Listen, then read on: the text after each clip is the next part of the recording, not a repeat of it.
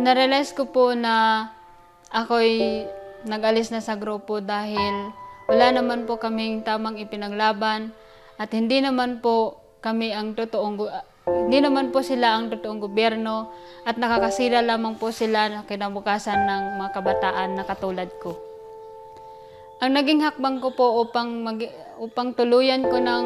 talikuran ng grupo ng CPP ng New People's Army dahil po wala naman po silang magandang maibigay sa amin na na kinabukasan at wala din silang kinikilalang Panginoon, wala din silang magandang maibigay sa lahat ng mga kabataan. At yung mga pamilya naman namin ay sarili mong pamilya pero mak- makakalimutan mo dahil sa kanilang ide- ideolohiya. Naisipan ko po na magbalik na ako sa loob ng, ng ating gobyerno dahil nakikita ko naman po na mahirap ang buhay sa loob ng kilusan at walang magandang tulugan, walang makakain, mahirap, umakyat ka ng bundok, tapos hindi mo alam kung ano ang maratnan mo sa unahan. Ang aking mensahe para sa mga kasamahan ko na nandoon pa sa loob ng kilusan, naway kayo ay ma- matauhan upang maisipan ninyo kung ano ang at may lagay sa inyong isipan na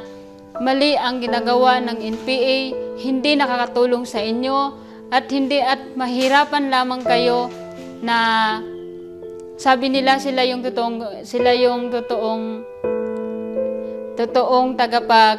ligtas ng bayan pero hindi naman po. Sana po ay mamulat na kayo sa katotohanan, naway sumuko na kayo sa ating gobyerno upang sama-sama nating lakbayin ang kapayapaan para sa ating bayan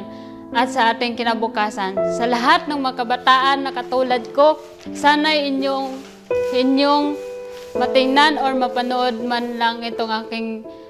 isalaysay. Ako din po ay nagpapasalamat sa lahat ng tumulong sa akin, sa lahat ng taga 19 IB Infantry Battalion na silang tumulong upang mamulat ako sa